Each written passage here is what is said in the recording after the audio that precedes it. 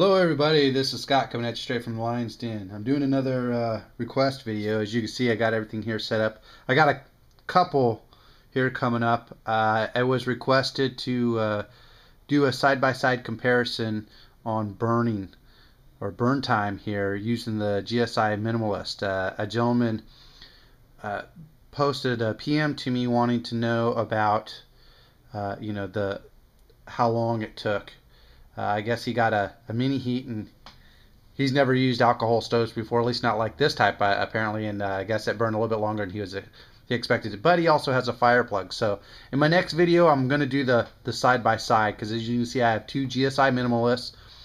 Uh, what was quest, requested was a comparison in burning time and just how it works in between the hiker and the mini heat since he is looking at wanting to have both. Uh, and then with his fire plug, I guess he had a few issues with it, um, especially being the first time having something like this. So that's what I'm going to focus on in this video is the the fire plug itself. And uh, this one happens to be my own design. Uh, not that there's really any difference in it, except for the fact of how I had to do it to make it work. So uh, let's get on with it here now. We'll cover that in this one today, okay? Uh, this is my version of the fire plug. When I bought or when I bought the components for this, when I made this, the difference being is Robbie only had a few on hand and uh, I wasn't able to order one before they were gone and he was waiting for the parts. He showed how to make one. So what I did was, uh, being that I'm I'm out here on the west coast, you know, our our parts are different, and I'm noticing that that even in the in the same area, depending on where you go, is going to depict on what they carry because, I mean, we are talking, uh, you know, just PVC connectors and stuff that are, uh, it's kind of what's on demand in the area, what the contractors use is going to depict on what they carry in your local hardware stores. They didn't have a cap that was going to work. So what I did was I actually took a, uh, a butt cap that happened to be the right size that was just slightly smaller than the uh, cap itself for the bottle. Uh, the bottle cap I used actually was a flip top cap and what I did was I just literally I snapped it off and I bored out the center of it and what makes this a little different is the fact that since I don't have the caps that Robbie has, which give you a real nice fit on his bottles. Uh, I noticed that if you use other caps, they tend to leak around the side even with the bottle completely in. But because this was a flip top cap, in here it has an inner ring that basically seals up against it. It's like a like a, a it's like a pressure fitting. Okay, so it works great. So it doesn't leak around the bottle and the cap okay. And what I did was I actually uh, I just took my Dremel and I bored it out a little bit here on the uh, on the PVC cap itself until there was a, a, snug fit. And then I just went down a little ways. Because uh, as you can see and I'm sorry uh, I will repeat it I don't have macro. So I'll post a couple pictures afterwards. This is the actual cap itself that is in a PVC cap Okay. Now what I did was, as you hopefully can see there, I bored it out a little bit there. And that's why this one is slightly also different.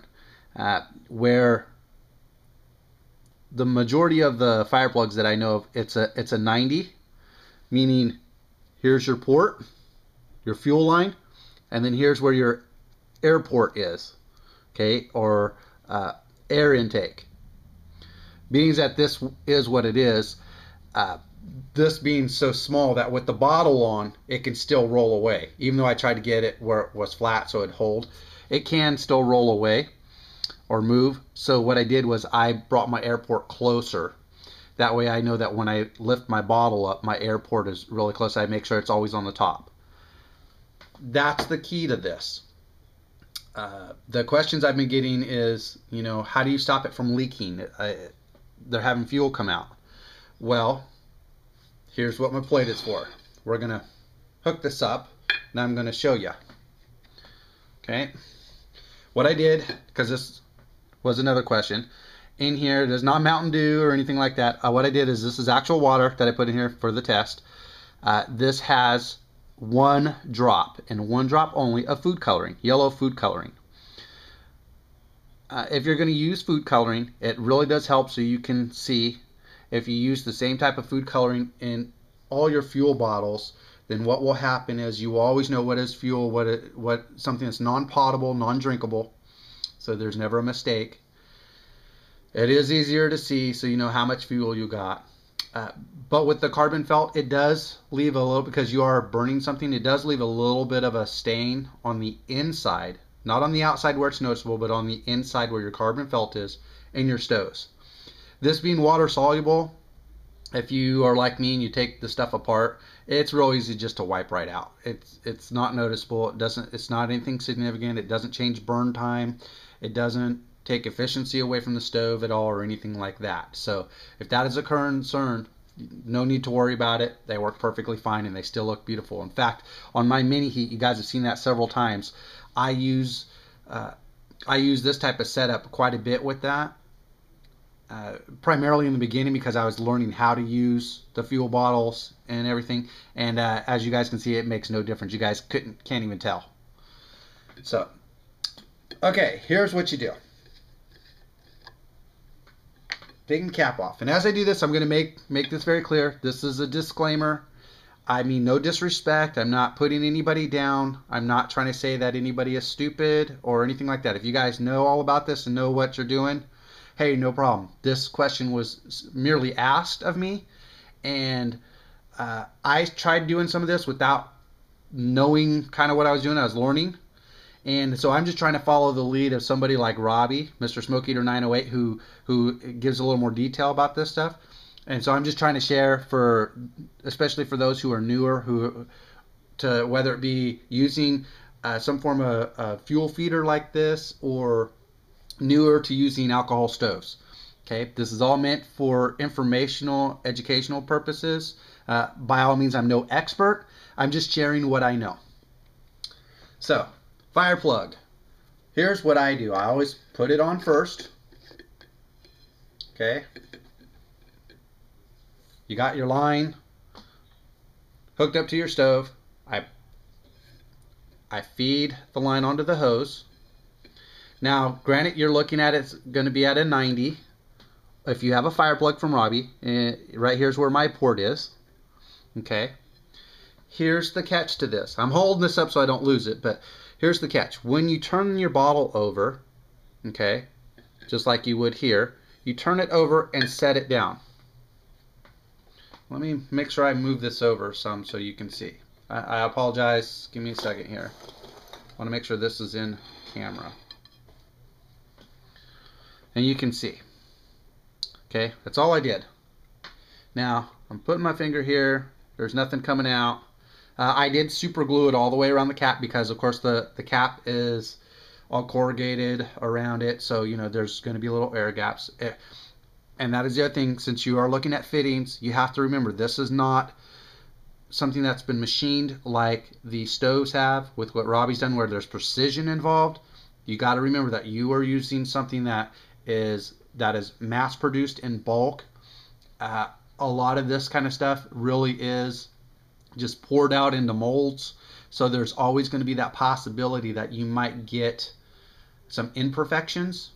So by all means, man, get some crazy glue, super glue, some form of adhesive, hopefully something that dries clear if you're having any form of issue, and just you know put it around the seals. It makes it much easier if you have any little nuances there. Now, so we can show that this is actually working and flowing. So you know there's no tricks, there's no anything here. I'm going to try to keep all of this in frame as best as possible. So you can see it dripping, hopefully. Sorry, I can't see myself in the camera, so hopefully that's it's all showing there. Okay. The higher I lift the bottle, the more it's going to come out. The lower I put the bottle, the less it's going to come out because you're equalizing it. Okay? Now, I'm going to lower the bottle.